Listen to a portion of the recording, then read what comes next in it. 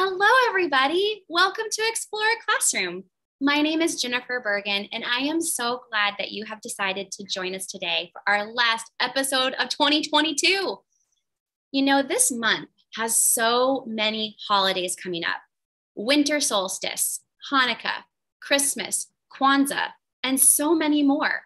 We know that our viewers from all over the world are cherishing their cultural and family traditions this month. So we wish all of you from National Geographic a beautiful season of light and love. At National Geographic, we use the power of science, exploration, education, and storytelling to illuminate and protect the wonder of our world.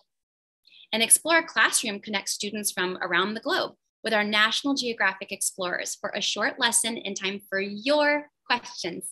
And this month, we are organized around a theme we are exploring the importance of learning from the past. And with that in mind, our explorer today is Dr. Lisa Briggs. Lisa is an underwater archaeologist. This means that she studies items from the past and she helps recover these items from sunken ships. They are so deep in the ocean that she requires special training and scuba diving gear so that she can go down and get them. And her work has taken her all over the world. But today, she's going to share about one of her most memorable ship visits because it belonged to a pirate. She's going to tell you more today, including why she thinks it's so important to talk to young explorers like you and how she wants to inspire them to do roles like she does in STEM. So before we get into today's lesson, I'd like to welcome our registered viewers from all over the world. Hello to Laurel Wood Elementary, Holy Trinity School, Bennett Elementary, Santana Arts Academy, Friendly Hills Elementary, Wonderland Avenue Elementary, and of course, all of our homeschool families out there. We're so thrilled to have you. And with that, let's turn it over to Lisa. It is time for her to share all about sunken pirate ships. Take it away, Lisa. Thank you so much, Jennifer. I will share with you guys a fun story about pirates today. So, first, let me now tell you about my work with the Blackbeard pirate and his lost ship, the Queen Anne's Revenge. So, first of all, how do we know about pirates? A lot of times we read about pirates in what we call contemporary records, which means those were records written at the same time that the pirate lived. There's a really, really great book you guys should try to get your teacher to read to you called Captain Charles Johnson A General History of the Robberies and Murders of the Most Notorious Pirates. And this is how we know about the pirate Blackbeard. So I had read this book and was so excited to learn more about all these different pirates from the golden age of piracy. But in particular, my very favorite was a man named Blackbeard. Here you can see some pictures of him wearing two very silly hats. Blackbeard the pirate became very, very famous when he blockaded a harbor in South Carolina in a city called Charleston most of the time when pirates would blockade a harbor they would demand things like gold and different money and all sorts of stuff from the city. But the time that blackbeard the pirate blockaded charleston harbor he only asked for one thing. He asked for a chest full of medicine. We still don't really know why, but we think it's because members of his pirate crew were very, very sick and he wanted to make them better. So while he had the entire city blockaded, all he wanted were things like medicine to help his crew. Here in this picture, you can see some medical equipment that I found on the boat, which shows us that not only did he get the chest of medicine, but it remained on the boat when the boat sank. The area that we excavate in is a place called North Carolina and the Outer Banks. I will tell you a little bit more about them because the Outer Banks are full of sand that shifts around from year to year, which is one of the reasons why the ship got covered up. We go out every year on a boat called the Shell Point. Here's a picture of our boat. You can see me standing right next to the crane wearing a really silly life preserver.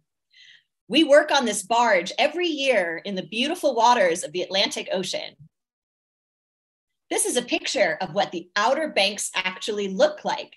The Outer Banks are an incredible geological phenomenon where it's a really funny little spit of sand that runs all the way down the coast. You can see this little funny line there. That is all just made up of sand. And this sand shifts around constantly. So once Blackbeard was pulling his boat, the Queen Anne's Revenge, into this really funny area, he ran aground on a sand bar, which means there's a big bar of sand under the water that stopped his boat dead in the water. And he decided to leave it there, mostly for underwater archaeologists to find in the future. Here's what it actually looks like. And you can see the shipwreck site down at the very bottom. So these sands, they shift around every year. And every year when we go back to excavate the ship, we have to dig up even more sand that was deposited since we excavated it the year before. This is a map of the shipwreck and what it looks like when you go scuba dive down on it. You see all these big black long things? Those are cannons that were on the boat Pirates loved having cannons to defend against other boats when they went to try and attack other ships and take all of their gold and silver and their treasure, or in some cases, a chest of medicine. You can also see a couple really, really big anchors on this map, which were so exciting to find and excavate. This is what an old anchor looks like. You might have seen it on something like Popeye's arm or depictions of anchors in various cartoons. And that is exactly what anchors from this period of time actually look like when you find them underwater. But when you actually find them underwater, they really look more like this. When something like made of metal is in salt water, it gets covered with what we call concretions or incrustations. This is part of a fluke of an anchor in this image. Here, you can also see all of this really interesting marine life grows over top of the anchor itself. Can you guys see some of these uh, black spiky sea urchins? There's at least three or four or five that you can see in this picture. And this just goes to show how things look like when I actually dive down and find them underwater. Sometimes you'd hope that it looked just like a boat in something like The Little Mermaid, where it just looks like a wooden boat that's fallen on its side. But unfortunately, all of these cool critters grow over top of it, which makes it a little bit more difficult to identify exactly what we're looking at underwater. But good thing I've been doing this for a long time. So when I saw this, I knew that we were looking at a really old anchor. One thing I do encounter a lot on this site are sand tiger sharks. The coast of North Carolina is a breeding ground for sand tiger sharks. And they're not that scary. They do have really big teeth and they do swim around a lot, and there are lots of them. But really, for the most part, they just leave the underwater archaeologists alone. And we, we get really excited and happy when we see them because sharks are very important for the world's oceans. So we're always really excited and really, really happy to see sharks in that kind of context. Here's another example of a little cannon that we found one of the years that I was working on the project. As you can see, it's covered in marine encrustations and concretions, but you can still see the cool outline and the shape of what the original cannon looked like before it went in the salt water and all of this funny crust grew over top of it. Here you can see me in my cool scuba diving gear with a really funny face mask that we call an aga mask. But what I really want to show you in this image is what it looks like when we actually find artifacts. You see that black basket that we're raising up? That basket is full of what we call concretions, which are these blobs of cool artifacts but really, when we find them, they're so covered in marine encrustations and they're so covered in concretion that we don't know what's inside. So once we find them, we have to take them away to a scientific laboratory where they can perform what we call conservation to get inside the concretion and determine exactly what is inside. Here is an example of an, a concretion that's been partially taken apart.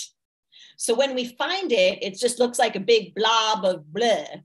And when we take it to the laboratories, we start peeling away the outer parts and then we can see what's inside of it. So in this one, we found a cannonball and we found two grenades all the way back from 1718 when the boat sank. So when you find this big blob of concretion on the seafloor and you don't know what's inside, it's almost like a present that you have to open and determine what's really inside there. So it's really exciting going to see the work that people do in the scientific laboratories. That is also where I work now in the scientific laboratories. So both finding the artifacts and then uh, digging them up and then trying to understand what's inside of them. Here's another few thing, fun things that we see. I know pirates always talk about rum and yo ho ho and a bottle of rum. On this boat, we found lots of really cool rum bottles. But back in the early 1700s, bottles looked really different. And this is an onion bottle. That's the kind of shape that pirates liked to drink out of. Another great thing we found on the boat that really helped us understand exactly what time period it was from was the ship's bell. Ships would always have a bell that they would ring when they were coming into harbor or to alert other boats to their presence. And this one had a date of 1705 written on it, which really helped us understand exactly when the boat might be from. Here's a picture of what it actually looks like on our research vessel, the Shell Point. We uh, suck up stuff from the sea underwater in what we call a dredge, which basically just works like an underwater vacuum cleaner. And then the underwater vacuum cleaner dumps all of this sediment out into the series of piles that we go through. And that's where we really find a lot of the artifacts. So we have these big long hoses that go down into the sea and then come up on the boat to look at the artifacts there. So see here's some of my buddies going through all of the cool seashells and bits of rock and things that you'll find that go through the dredge up onto the boat. And then that's where we find some of the coolest stuff that we find. So here is an example of the dredge outflow with so many musket balls that would go inside a musket that a pirate would have. Can you guys even count how many musket balls there are in this picture? There are so many. One day I found 1,664 musket balls in one day working on this pirate ship. That was a really fun day. Once we get all of this seafloor sediment and sand up out of underwater, we put it through a series of little sieves and strainers, a bit like you would use to strain something like pasta when you're making macaroni and cheese. But in our case, we're sieving out bits of sand and seafloor sediment so that we can find these cool artifacts. Here, there's some really, really, really tiny, tiny bullets called grape shot that went inside of other muskets or even other little cannons. Sometimes we also find things like wood. Here I am finding a little tiny piece of wood that was probably part of the wooden ship when it was originally under sail. But I know what everybody wants to know about when we think about pirates and the stuff we found. We find pirate gold only sometimes. The gold that we find on the Queen Anne's Revenge, Blackbeard's ship, is called gold dust. We've done some scientific analysis of this gold dust, and what we discovered was this gold dust came from West Africa. It has a very different look to it than gold you would find in, say, California or Colorado. So when we find this gold, we get kind of excited because if I'm totally honest, archaeologists hardly ever, ever find gold. So this is the only gold that I've ever found is little tiny, tiny bits of gold dust.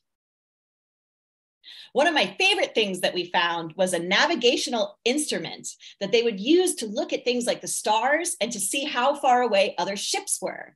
That way, they could know exactly where they were in relationship to the land and where they were going in their navigation. But my one of my absolute favorite things was this little lead gaming piece that has a big X on it pirates would get bored when they were at sea, just like we get bored when we're on a big road trip or where we're going somewhere. And so they would sit down and they would play board games, just like you might do when you're with your family for the holidays.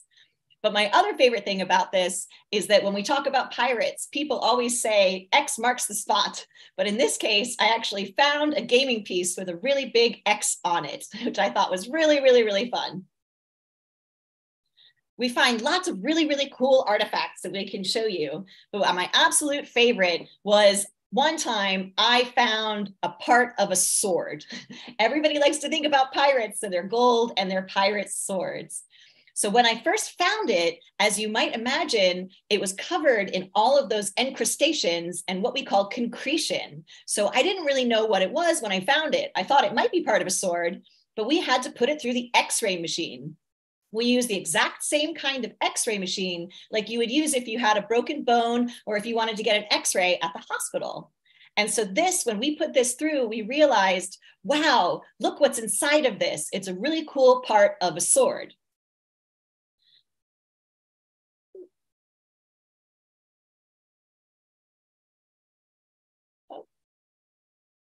So then I looked at it once they had gone through conservation, and this is what we found.